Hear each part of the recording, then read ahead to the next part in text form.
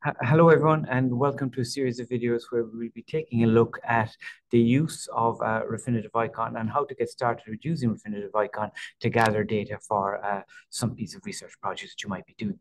Um, okay, so first up, I guess a small bit of a, a, a rider. Uh, at the moment, I'm inside an SETU in the SETU computing environment.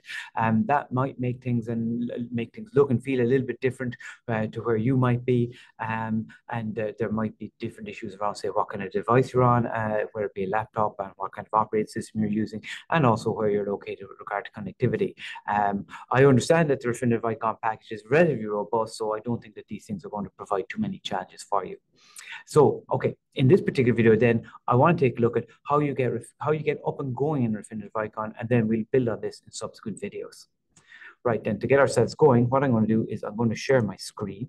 Uh, there you go, and you should see. Well, that's my uh, uh, that's my uh, browser screen. And uh, what I'm going to put in here to get ourselves running is Refinitiv, Refinitiv Eikon.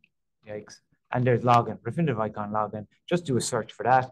It usually pops up, yeah, there, this is what comes up, but it's pretty obvious what this is. I'll go to hit this guy.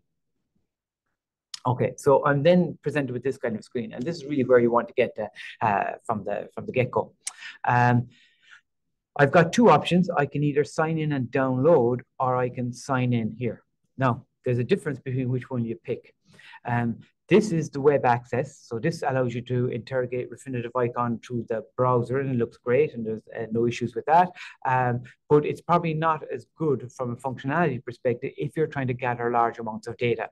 So that's why I'm going to come in through here. And what if I come in through here, what this will automatically uh, download for me is it will download a number of add-ins uh, for uh, various Microsoft Office tools, in particular Excel, and then I can then go into the Excel environment and interrogate the Refinitiv Eikon database directly through Excel and download large amounts of data into Excel itself. And we will have a look at how that works in the next video. But in this video, we're going to have a look at how you get to this point. Okay, so I'm going to hit sign in and download, if it does it for me. Um, okay, so uh, you will have uh, been provided with a series of um, user IDs and there's a password to go with them. And uh, you pick one of those and pick the appropriate password, and then you hit sign in.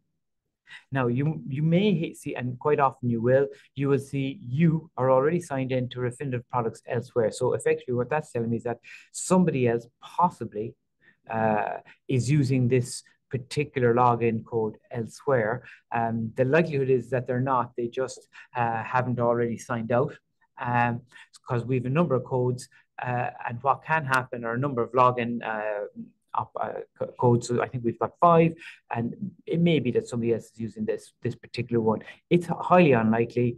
Um, if not, if you're concerned, just go to number two and number three and number four, and you might find that you get a similar uh, warning. Anyway, I'm just going to sign in. That kicks the other person out. If you find yourself being in and out. Uh, kicked in and out a couple of times around, well then you'll know what the what the issue is. I'll hit accept um, I'm going to go down here and give them my uh, country location.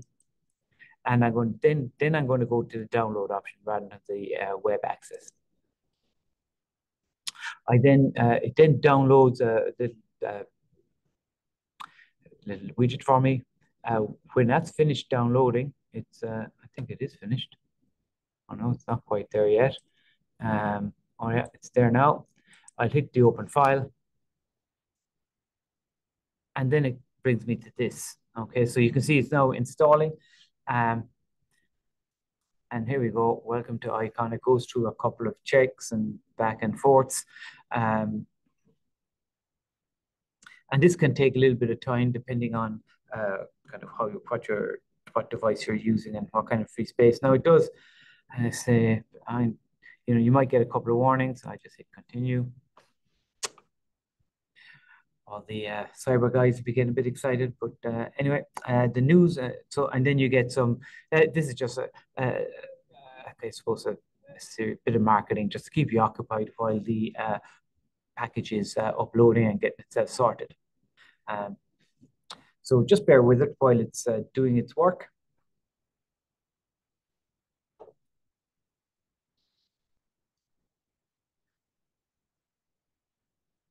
Now, while that's going doing its work, what I'm going to do is I'm going to show you my Excel. Um, so you can see my Excel here. Uh, I, and the only reason I'm showing you this is so that you can just see what the top uh, set of tabs have. Uh, you, it's your kind of standard file, home, insert page, and so on. There's nothing unusual up there, just so that you can see that. I'm going to come back out of that. It's still going through. It's nearly there. Oh, it's been in. It's been installed. It then gives me a start product, and I'm going to start the product. And it goes to another little piece, and then it looks me to log in again, and eikon dot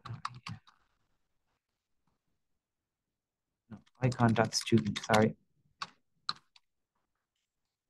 eikon student at wit.ie, and then password. I'm going to sign in. I'm now being told that I'm already signed in elsewhere. In fact, I'm, it doesn't, for some reason, it doesn't recognize that I'm actually signed in on this computer as well, uh, albeit through a different uh, package. I'm just going to sign in. And here we go.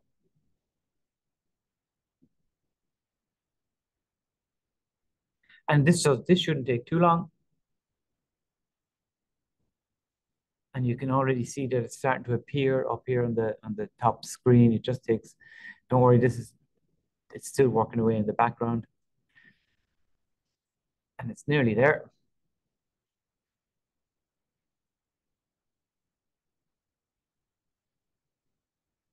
Boom, boom, boom. Here we go.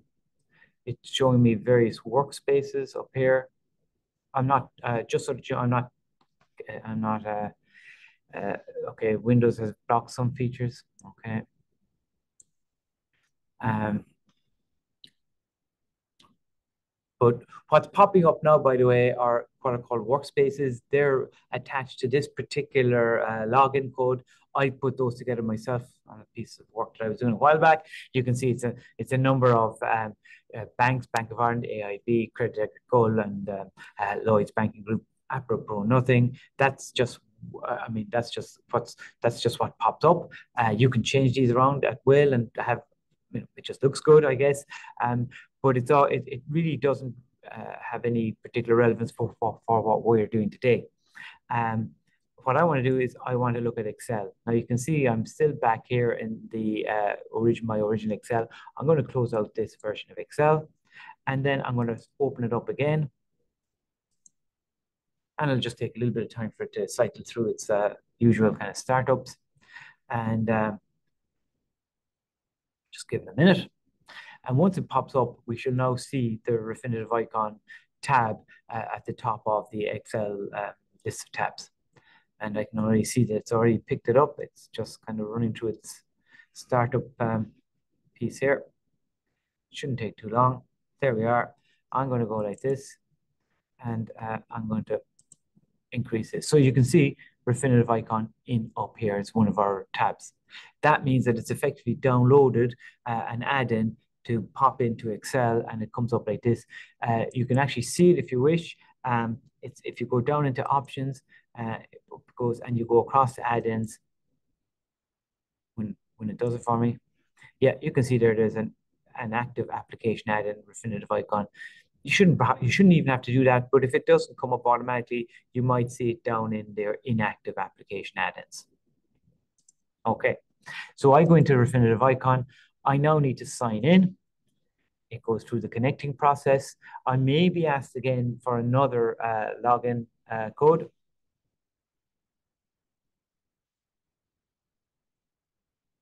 And there we are. We're now in.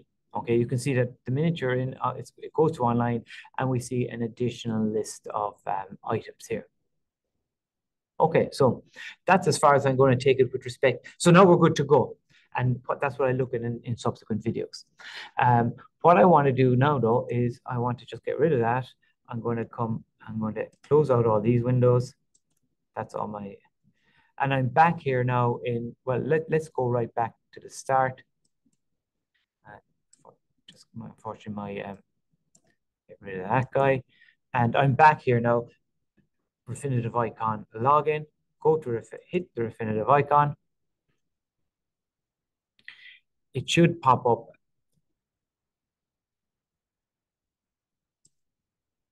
It's just a little bit slow running through now for some reason.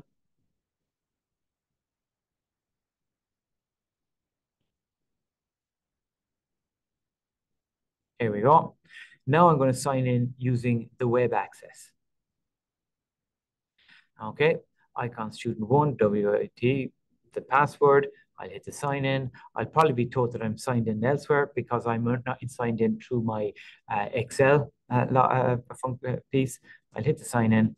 So this is just to show you what it looks like when you log in through the um, through the through the web access uh, approach, um, and you've given you know you get what's effectively a news page and a little piece over on the right on equities. Um, you've got various uh, options here that you can hit, and you can just use these at uh, um, as you wish. Um, maybe just to show you some of what can come up. Um, you can then look for, uh, let's just look for a particular company. Microsoft. Okay, so um, I've I just picked them off the top of my head. Uh, and what you want is you want the, this is what it all runs off. It runs off these kind of codes. MSFT is the standard code from Microsoft. And what it does, when you hit that, then it pulls up a whole load of information, too much, in fact, probably about uh, Microsoft. And the, but the, I suppose the issue with this is that you're looking at kind of individual companies rather than uh, companies at the, at the one time. You can go into the price piece can look at some of this takes a little bit slow, is, is a little bit slow. Let's look at the chart. It might be a little bit quicker. Um, so here you have the, the price chart for, you know, this is pretty standard stuff, I think, for um, uh, for any, you, you can even get this on and, and Yahoo Finance, but you can you can change the the the time horizon. You've got loads of different options that, that you can overlay onto the chart, and you can download the underlying data as well too. Um, you could, you've also got, uh, you can look at their um, ESG um, credentials. And uh, up pops another nice little piece. and you've got a, you know, so there's various different other pieces. It, it's just taking a little bit of time to cycle through everything. Um, you can look at uh, their peer analysis. Oh, I should have had a bit more patience. So you can see um, there, there's various scorings attached. So Microsoft are ranked number three. There's Infosys, and then you've got um, uh, SAP underneath, and they have a nice little map. If you want to see that, you can go into. You can most of these have a have a click through option that you can go in, and you can then see okay where does the the Microsoft. This is the bit that I shut down very quickly there earlier on. Oh, it didn't let me. I don't know. Anyway, um, we'll go back to here. Um, and you can look up, uh, kind of, there are various valuation models that you can interrogate as well too. There's a, a relative valuation model, there's an intrinsic valuation model, different, you know, you can go in and you can have a look at, you can kind of, I suppose, drill into these uh, at your at your leisure, but it kind of gives you a sense of what's available on the um, on the on, on the web platform, a whole raft of information. Takes a little bit of time, obviously, to, you can see that it is cycling through to gather up the data. It can take a little bit of time for it to filter through. That's just largely, I suppose, um, connectivity and how many people are using the, the, the service at any one time. Um, but you know, eh, and you, you can you, you can most of the time over here on the right hand side, if you see there's an Excel little piece here, if you click that, then it will take all this information and just do it in short, and it should bring it across into Excel. And I'll open the file. So you've got the kind of the raw data that underpins what we were just uh, what we were just looking at there. Um, but it's uh, I suppose it's not as necessarily as um, uh, it doesn't have that great kind of functionality. If you were looking to do anything different, that's why um, we tend to go in if we're trying to gather data through the uh, the the Excel functionality. And that's what I'm going to look at in the in the next video. So I'm going to stop my shared here. So all we looked at is we looked at the two different approaches as how to get into Refinitiv Eikon, one via the um, the, the download uh, piece and the other then via the web access.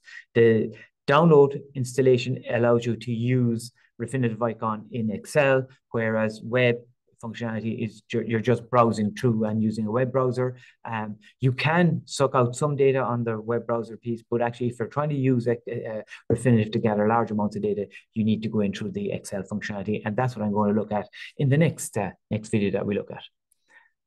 So we shall sign off there and see you next.